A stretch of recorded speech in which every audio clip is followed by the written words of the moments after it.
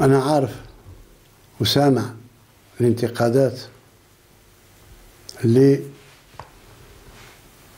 يبديها المواطن عن حق بأن ربما النية حسنة ولكن التطبيق في الميدان ناقص سواء من السلطة المحلية أو من بعض قطاعات في الحكومة.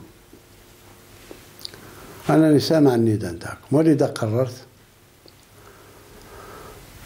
أن على 48 ساعة أقصاها يكون فيه تعديل حكومي سأعلن عليه غدا أو بعد غد يشمل القطاعات التي يشعر المواطن ونشعر إحنا كذلك بنقص في تأديتها لمهامها. وفي حل مشاكل المواطن.